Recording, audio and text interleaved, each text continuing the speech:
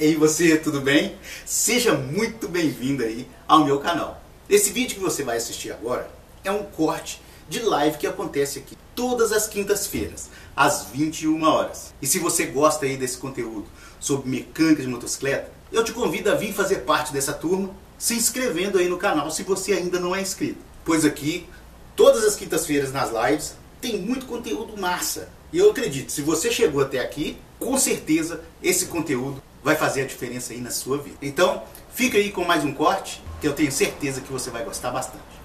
Bora pro vídeo? Aqui do Douglas, do Rio de Janeiro. Mestre, regular as válvulas da IES, admissão é 4 a 7 e escape de 13 a 18 é, conforme manual. Qual lâmina você recomenda? Minha IES está com 99 mil km. É... Ô Douglas, vamos lá. No manual está falando aí de 4 a 7 e de 13 a 18, tá?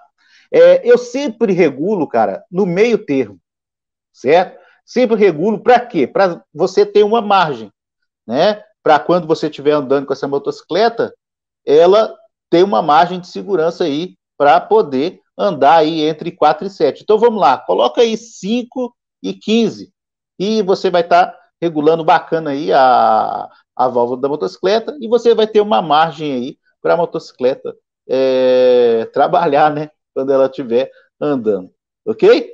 Um salve aí, obrigado aí pela pergunta. O Ney Rodrigues, boa noite, professor. Outro dia coloquei uma lâmpada farol da Philips é, numa XTZ 125.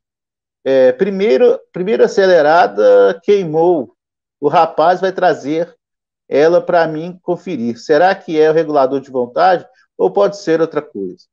Ó, bem provável, o, o Ney, que seja o regulador de voltagem, que ele está aí para isso né? A função dele, a função do regulador de voltagem aí é essa, é, é receber a carga do estator, né, uma carga alta, e transformar ela em 12 volts, né, até 14,5 ali, para a bateria, para ela ficar funcionando perfeitamente e mandar lá no farol a, a carga também, sem que ultrapasse aí o limite da lâmpada né? E se ultrapassar, a lâmpada vai queimar, é lógico, né?